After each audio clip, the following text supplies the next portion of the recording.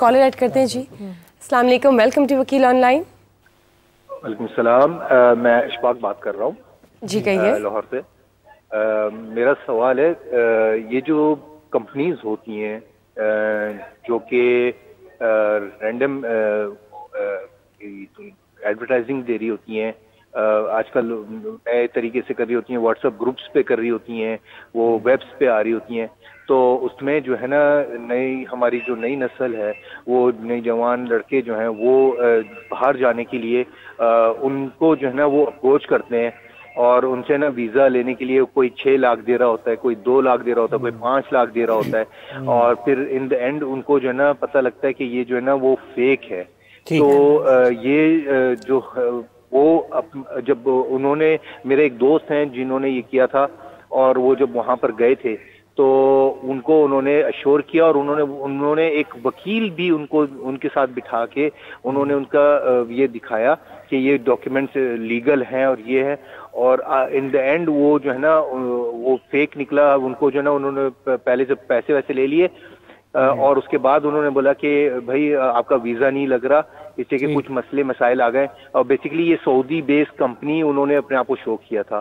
तो अभी इस मेरा सवाल ये है कि ऐसे सूरत में वक, वकील भी अगर वहाँ पर बैठे हुए उनके साथ इस तरीके से कर रहे हैं या पता नहीं फेक हैं वो वकील तो किस तरीके से आदमी जो है ना वो पता लगाए कि ये एक्चुअल सच्ची चीज़ है या झूठे हैं? हम्म। वकील भी जो बैठे हुए हैं ठीक ये बेसिकली फ्रॉड की बात कर रहे हैं जो पहले हम कर चुके हैं। कोई सूग आप कर सकते हैं स्कैमर पे बिल्कुल।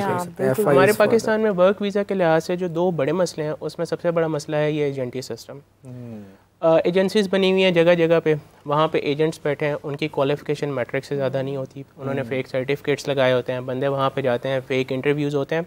आप यकीन माने लाहौर के अंदर इतने ज़्यादा फेक मेडिकल सेंटर्स बने हुए हैं जो आपसे पंद्रह हज़ार रुपये मेडिकल के लेते हैं जिनमें से वो एजेंट को दस हज़ार देते हैं पाँच हज़ार खुद रखते हैं और जो लोग दूसरे शहरों से आते हैं उनका टाइम और पैसा सारा बर्बाद होता है। दूसरा हमारे पास एक पोर्टल है ओ पोर्टल ओवरसीज़ इमिग्रेशन और एम्प्लॉयमेंट का पोर्टल है जो इन एजेंसीज़ को चेक करने के लिए बनाया हम्म। गया लेकिन उसकी इनएफिशिएंसी उसकी इनएफिकेसी पे अगर बात की जाए तो आलम ये है कि अगर आप किसी भी एजेंसी वहाँ पे सारी एजेंसीज का डाटा है हम्म। आप किसी भी एजेंसी का फ़ोन नंबर उठाएँगे हम्म। तो वो कोई रैंडम बंदा उठा के कह रहा होगा कि हम्म। भाई मैंने कोई एजेंसी नहीं बनाई हुई मैं तो किसी जगह पे जॉब करता हूँ यानी ये हमारी स्टेट के पार्ट के ऊपर एक इनफिकेसी इनफिकेसी आ जाती है इनएफिशिएंसी आ जाती है कि अगर आपने एक पोर्टल बनाया हुआ है इस चीज़ को रेगुलेट करने के लिए इस चीज़ को मॉनिटर करने के लिए तो उसको इतना स्ट्रिक्ट होना चाहिए कि ये जो फेक एजेंसीज बैठे हैं जो ये फेक लोग बैठे हैं जो ये एडवर्टीजमेंट्स लोगों के साथ सर्कुलेट करते हैं उनका सफाया हो यहाँ पर बुहारी साहब आपसे एक सवाल है। अक्सर अवकात ऐसा होता है कि कुछ लोग जैसे दुबई जाना चाहते हैं या सऊदीया जाना चाहते हैं वर्क वीज़ा पर तो वहाँ के लोग वहाँ पर बैठे हुए लोग आपको कहते हैं कि जी हम आपको यहाँ से वीज़ा निकलवा के देंगे और उसके मद में पैसे लेते हैं। और अगर ऐसी सूरत में आपके साथ फ्रॉड होता है तो फिर आपके पास क्या रेमेडी बिल्कुल। देखें बेसिकली वही बात आ गई कि एजेंटी सिस्टम है। हम्म। और पाकिस्तान में इस पर कोई अवेयरनेस नहीं है। स्टेट की तरफ़ से कोई ऐसे लॉज नहीं है या हैं तो इम्प्लीमेंट नहीं हो रहे। रोकथाम हम कैसे करें इस चीज़ हम्म। की?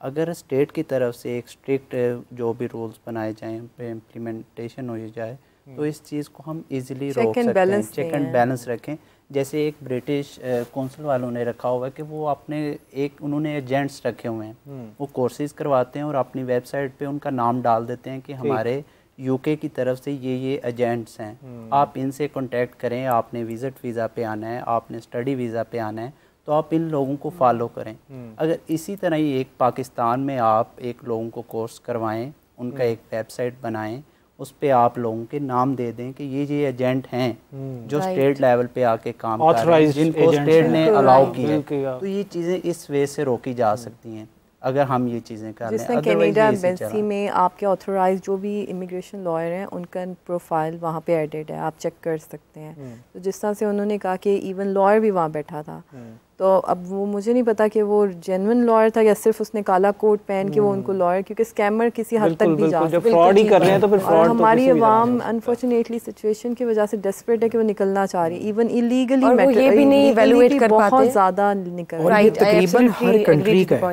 जिस तरह उन्होंने ब्रिटिश काउंसिल का मेंशन किया जी। ये basically UK agent and counsellors course कराते हैं और उनकी वेबसाइट पे इंडिविजुअली नाम लिखा हुआ है। एग्जैक्टली ठीक है? इंडिविजुअल बंदे का एजेंसी नेम के साथ। तो it's very easy to find a suitable and a credible person जिसके साथ अपना आप यूके का प्रोसेस करा सकते हैं। फॉर इंस्टेंस ऑस्ट्रेलिया की अगर मैं आपको एग्जांपल दूँ तो मारा ठीक है? और ऑस्ट्रेलिया के ज़्यादातर जो है वो क्यू ई ए सी सर्टिफिकेशन होती हैं। ठीक। है? फॉर इंस्टेंस जिस तरह भी एजुप्राइड ICF accreditation है आपकी जो consulting company है that is ICF accredited they also cover the whole aspects of every student's QE right we are Canada education graduates hmm. QEAC certified counselors British Council certified counselors कितनी fees आप charge करते हैं एक बच्चे से एक student से अगर उसने बाहर जाना हो। टू बी ऑनेस्ट हमारा यूनिवर्सिटीज़ के साथ भी इस तरह का लिंक होता है। हम लोग बेसिकली पूरे प्रोसेस हम यूनिवर्सिटी के साथ लिंक्ड हैं। हम आप उनके साथ ही अपने मामला करते हैं। स्टूडेंट के साथ हम लोग बहुत मिनिमल बहुत मिनिमल बस वो चार्ज जो चार्जेस होते हैं जो उनके फॉर्म फिलिंग और डॉक्यूमेंटेशन वो सारी चीज़ों के ऊपर। हम्म। बहुत हैवी हेफ्टी अमाउंट नहीं होती। वैसे फेक स्टेटमेंट्स का बहुत ज़्यादा बढ़ता जा रहा है। अच्छा ये किस हद तक है कि आई एम सो ग्लैड कि आपने ये मेंशन किया नहीं और ये पता है वो वाकई चल भी जाती है? बिल्कुल अब मैं अब नहीं चलेंगी मैं आपको बताता हूँ। मुझे बड़ी खुशी हुई है कि आपने ये वाला जो है टॉपिक छेड़ा है। देखिए फेक स्टेटमेंट अभी ये पिछले दिनों एक बड़ा एक एक हाइप क्रिएट हुई थी जी वर्चुअल स्टेटमेंट वर्चुअल स्टेटमेंट वो बेसिकली स्टेटमेंट इस तरह की होती है कि उसमें पैसे एग्जिस्ट नहीं करते। अच्छा बस दिख रहे मेरा सबको ये पैगाम है जो जितने भी स्टूडेंट्स ये सुन रहे हैं और जितने भी लोग ये देख रहे हैं U B L bank dot com U B L bank dot com Faysal bank dot com ये वेबसाइट है।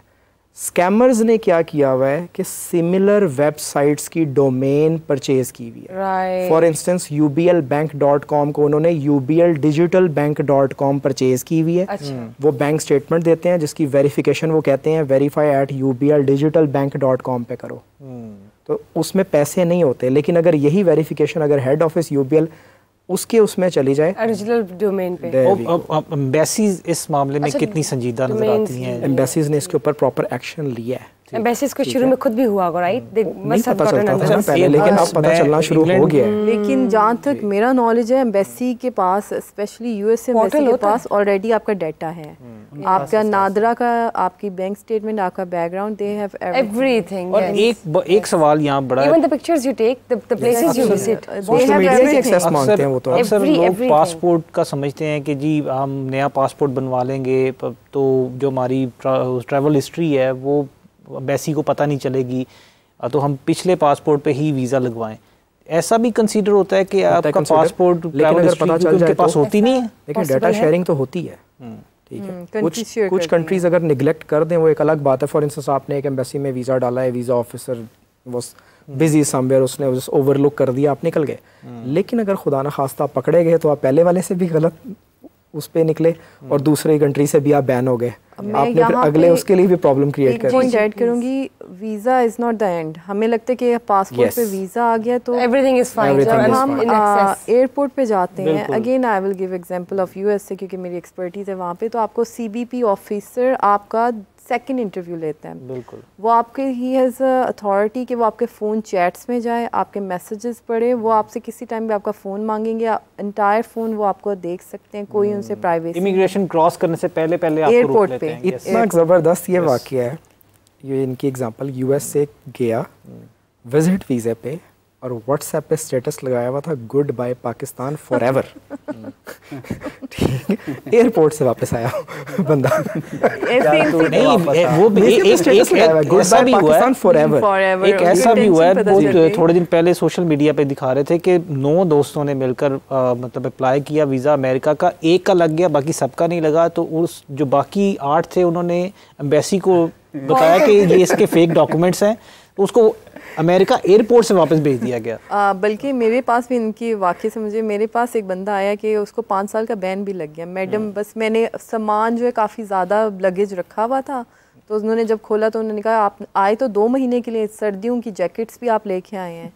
तो उनको उनसे टेंशन पता चल गई कि he has a plan to stay in America तो उन्होंने वापस भेज के बैन लगा दिया पाँच साल अच्छा ये भी बताइएगा कि असाइलम चाहे किसी भी मुल्क में जाकर दिया जाए उसकी क्या लीगल वैल्यू है? और एक शख्स अगर असाइलम पर है, है? या और अगर एक शख्स वहाँ पर है तो क्या वो असाइलम पर रहते हुए अपनी फैमिली या किसी को असाइलम सीकिंग की जो एक वैल्यू क्या होती है असाइलम सीकिंग का जो एक पूरा प्रोसेस है उसके लिए सबसे पहले आप ये अंडरस्टैंड करें कि असाइलम चाहिए किनको होता है। Means asylum is basically kind of a shelter which countries provide refugee status means हम अफ़गानिस्तान hmm. हम लोग अफगानी नेशनल्स को पाकिस्तान में शेल्टर देते हैं हमारे लिए वो असाइलम सीकर्स हैं। Hmm. इसी तरह अगर हम किसी और कंट्री में जाते हैं और वहाँ पे जाके अगर हम शेल्टर मांगते हैं या रिफ्यूज स्टेटस अपना hmm. उसको कराते हैं और असाइलम सीख करते हैं किस बुनियाद पर असाइलम तो लिया जा सकता है? जान को खतरा। अगर आपकी पर्ची और ये पॉसिबल है ये फीजिबल है। मोस्टली केसेस में फिजिबल तो है बस आपने जाकर ये कहना है कि मुझे मेरे मुल्क में खतरा है तो आप प्लीज़ मुझे यहाँ पर बहुत कम होता पहले बहुत तेज़ी था हाँ कि अब तो बहुत स्ट्रिक्ट कहा कि हम पे एफआईआर है तो हमें आप सियासी पनाह दे दी जाए। लेकिन इसे लोगों ने इतना इसे भी फ्रॉड बना लिया कि इंडिया में मोस्टली था कि जी मुझे बीजेपी ने मुक्का मारा है तो उस पर मुझे दे दे मुझे जान को उतरा है वो मज़ाक। अब जो अमेरिका ने इस पर ये किया है कि जो जाइलम आप ले रहे हैं उन्होंने कहा कि ये मैक्सिको में रहेंगे हम्म। जो भी हम देंगे इनको। ठीक ठीक ठीक तो इस पे स्ट्रिक्ट नेट स्टेट भी मैं थोड़ा सा ऐड करूँगी क्योंकि मेरी स्पेशलाइजेशन असाइलम है अमेरिकन असाइलम मैं पर्सनली हैंडल जी जी प्लीज़ तो जैसे कि बिलाल साहब ने ऐड किया कि पहले जो भी मैक्सिको से आता था पहले तो उनको कुछ ऐसा डिटेंशन सेंटर में ये इलीगल लोगों की बात है। हम्म।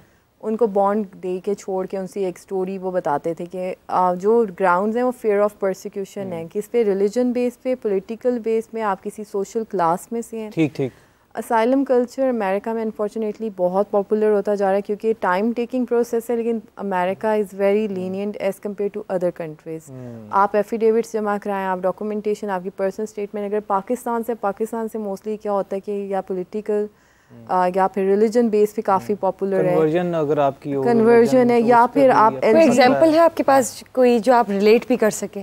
किस तरह किसी ने साइलम के लिए अप्लाई किया हो? जी बिल्कुल एलजीबीटीक्यू का एक स्टांस है बहुत कांसेप्ट हाँ जी एथियस्ट का कि मैं एथियस्ट हूँ हम्म। या फिर मैं जो हूँ मैंने ब्लस्मी कर दी है या मेरे ऊपर झूठा इल्ज़ाम हाँ, लग गया तो ये ग्राउंड्स पे आपको वहाँ पे साइलम मिल जाता हम्म। है और वहाँ पे ये है कि आपकी पर्सनल स्टेटमेंट होनी चाहिए आपकी डॉक्यूमेंटेशन जितनी देर तक आप साइलम पर होते हैं आपका वहाँ का लीगल स्टेटस क्या है? आपको जो है वो अमेरिका का बाकी आपको गाइड कर सकते हैं। अमेरिका में ये कि आपको सिक्स मंथ्स के अंदर वर्क परमिट मिल जाता है और आपको सोशल सिक्योरिटी कार्ड जो कि C N I C kind है। हम्म। जब तक आपका असाइलम पेंडिंग है वहाँ पे आप काम कर सकते हैं आप अलाउ है कि विद इन अमेरिका मूव कर सकते हैं outside of America but after वो ग्रीन कार्ड की तरफ़ कैसे जाता है ग्रीन कार्ड वंस आपका असाइलम अप्रूव हो जाता है तो फिर विद इन वन ईयर आप ग्रीन कार्ड अप्लाई कर सकते हैं। और यही यूके में भी ऐसी अप्लाई होता है? यूके में I think this is not UK is very time this is not a good idea right but to apply for asylum if you are genuine लेकिन most of the time unfortunately